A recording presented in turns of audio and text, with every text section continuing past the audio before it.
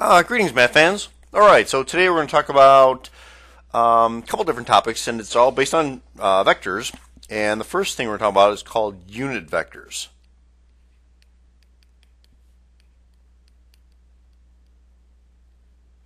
Okay, so I want you guys to think a little bit.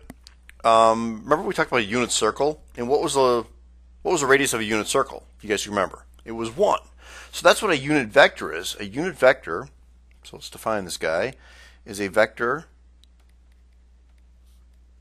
with a magnitude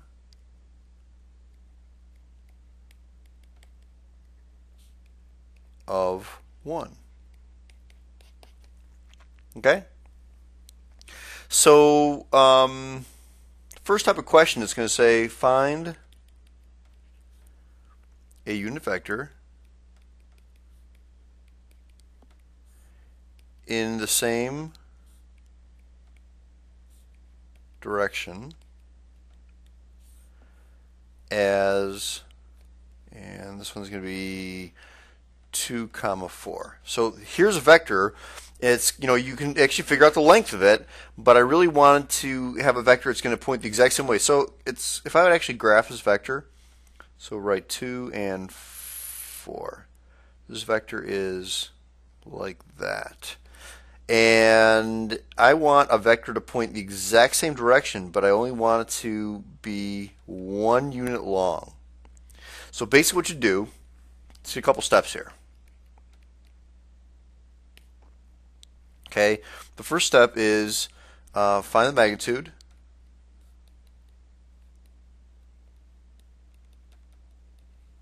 If I find the magnitude, you guys already know how to do that. It's the square root of um, x squared plus y squared, so 2 squared plus 4 squared. So it's the square root of 20 or uh, 2 root 5. Okay? And then, so that's the first step. And the second step is to divide each component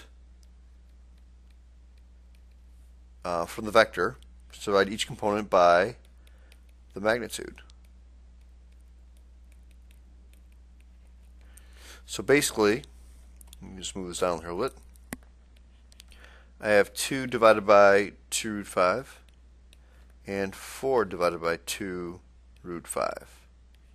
Now you need to rationalize. You can't leave it like this. Now before I even rationalize it, you guys agree I can simplify it. So this 2 goes away and becomes a 1 and that 2 goes away, and that 4 goes away, and that becomes a 2. So I really, I'm simplifying 1 over root 5 and 2 over root 5, and you guys are good at simplifying it, right? Multiply the top and bottom by root 5 over root 5, and so I get root 5 over 5, comma, 2 root 5 over 5. And there we go. That's actually my answer, math fans. That is a unit vector. It's pointing the exact same direction. If I would graph that, it's pointing the exact same direction as 2 comma 4, but its magnitude is only 1. And some of you guys are like, yeah, whatever. How do you know its uh, magnitude is only 1? Well, just to check it, and this is not something you're going to have to do, so you can, you know, just, just a good check. But basically, remember, a uh, vector, if I want to find the magnitude of that vector now, this guy right here, I just put it into the Pythagorean theorem, so it's root 5 over 5 squared plus 2 root 5 over 5 squared. And so I get root 5 over 5 squared. Uh, root 5 squared is just 5, and 5 squared is 25. So I get 5 over 25. Right?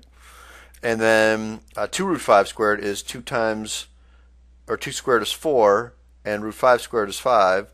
So it's 20 over 25. So I get the square root of 25 over 25 which is square root of 1, which is 1. Okay? So it just kind of shows you that's, um, uh, I created a unit vector. I created a vector with a magnitude of 1. All right. Um, so let's do another type of problem here. It's got the same thing I just asked now to find a unit vector, but it's got a little bit more to it. So here, this is what the directions are going to say. Find the following for the given vectors or given vector. And I'm going to ask you guys to find the direction angle.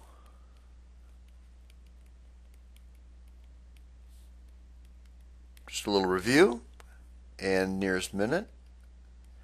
And the second is I'm going to ask you to express it's an overpriced store in the mall. Uh, express each vector as a scalar product of a real number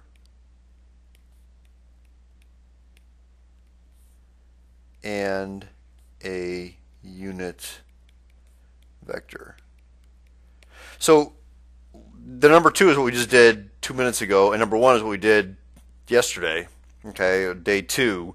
Uh, so it's actually pretty easy. Let's just uh, here. Let's so let me actually do a problem here now. Here's your vector. It's four, negative six.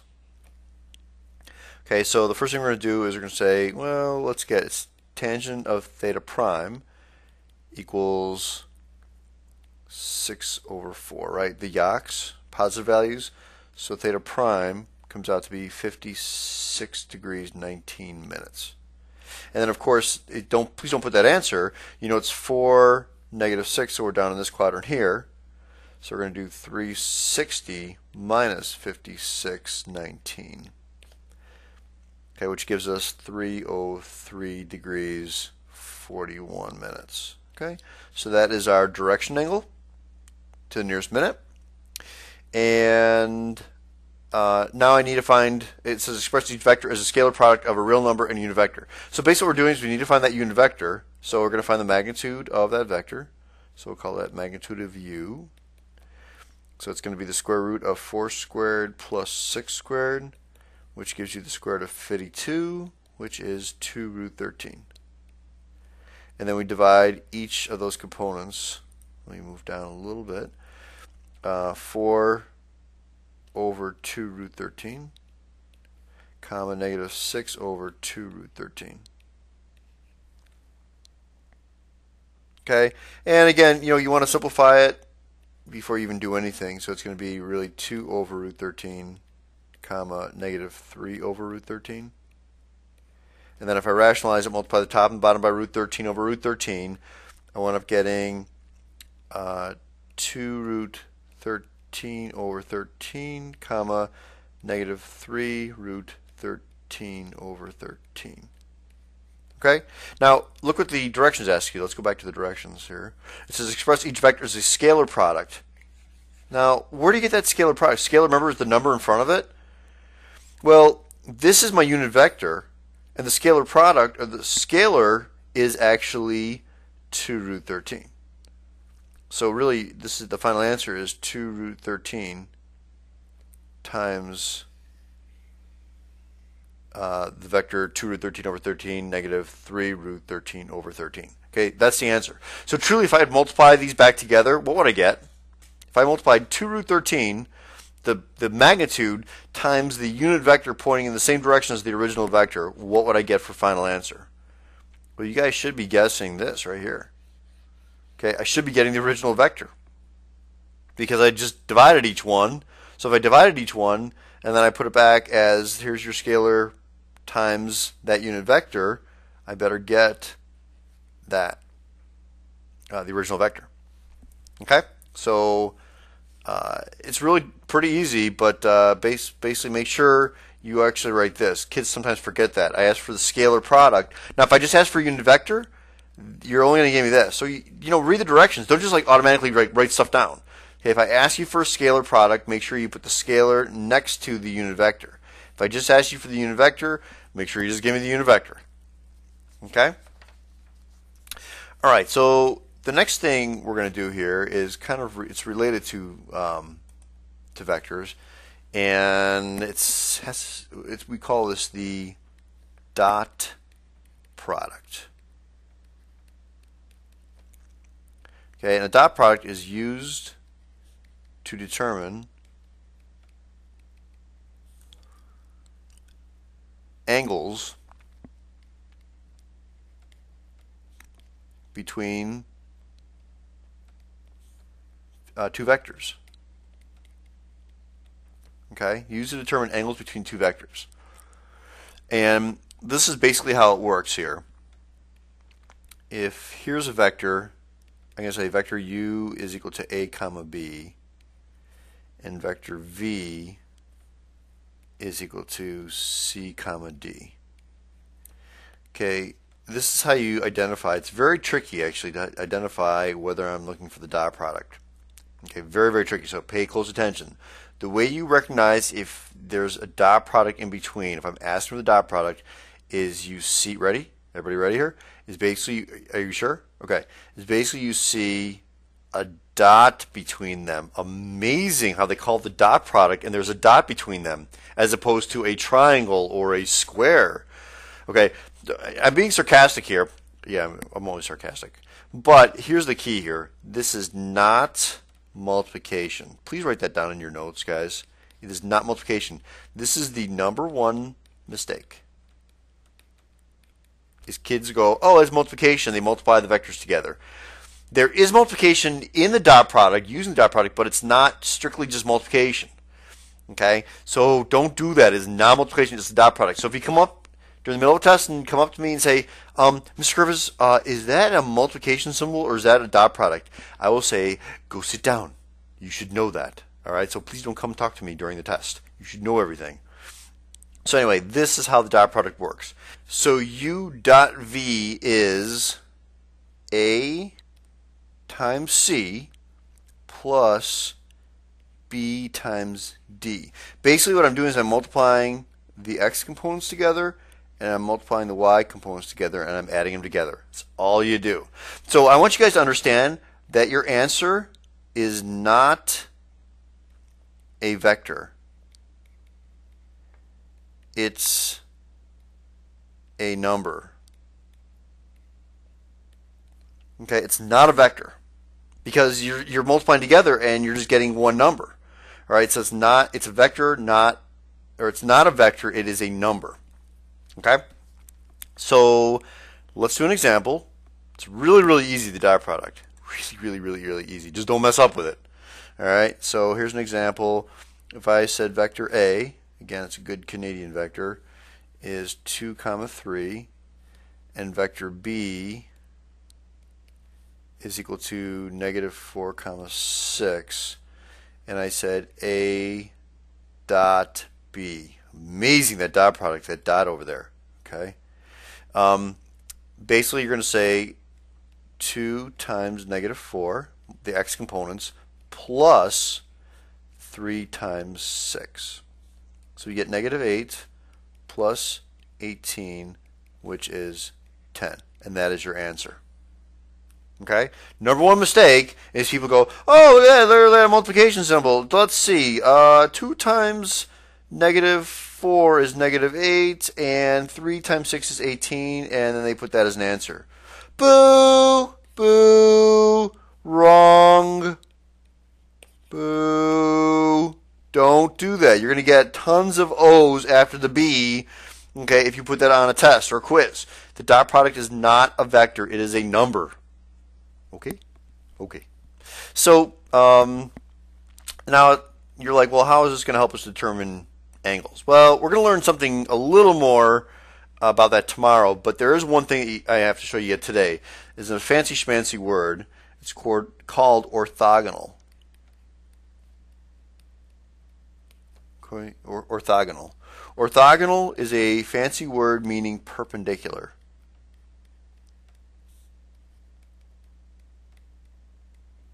Okay, it's what orthogonal is. So that's it's the kind of word that you say at home. You impress the parents. They give you more mashed potatoes because you're so smart, and they just it's just it's impressing, very impressive word to use. So you want to use orthogonal. And now, where does that come from? It's kind of interesting because kids, you know, it's kind of a you know people like to know like even prefixes and, and suffixes and etc. But uh, think about it. If you go to the orthodontist, what does the orthodontist do? Kind of straightens your teeth, right? So if the orthodontist straightens your teeth, basically, in other words, for straightening your straightening your teeth, is he or she, your orthodontist, will actually make them perpendicular to your mouth, right? So you want your teeth perpendicular, or you want them orthogonal. Again, orthogonal orthodontist, perpendicular uh, doctor that makes your teeth perpendicular. Right? All right. Anyway, um, this is pretty important. Vectors are orthogonal when the dot product equals zero. Okay, if you turn that sideways, it looks like somebody's yelling. Sorry. Okay, so um, basically, if the dot product equals zero, it's perpendicular. Really, really easy. So my question is, are 2 comma 4 and 6 negative 3 orthogonal? So do the dot product. So it's 2 times 6, the x components, plus the product of the y components, 4 times negative 3. So you get 12 minus 12, which if you have your calculator out handy and put it away, you get 0. So the answer is yes, they are orthogonal. Okay? Really easy. Just do the dot product. Kind of cool. Um, last type of question is uh, I'm going to say find n if the vectors are orthogonal. So here are your vectors 5, negative 3, and 8, comma 2n. Okay, again, it's really, really easy. You know the dot product? Dot product has to equal 0 if it's orthogonal. So let's do 5 times 8, the x components, plus negative 3 times 2n. And that has to equal 0. Pretty easy. So you get 40 minus 6n equals 0. Move the 6n over, so I get 6n equals 40. And divide by 6. And if I simplify that, uh, 2 goes into 40 20 times, 2 goes into 6 3 times. So our answer is 20 thirds. Okay? Pretty easy. All right, and so the last kind of problem I want to do here, math fans, is we're going to find a unit vector. So let me put the directions down here. Find a unit vector in the direction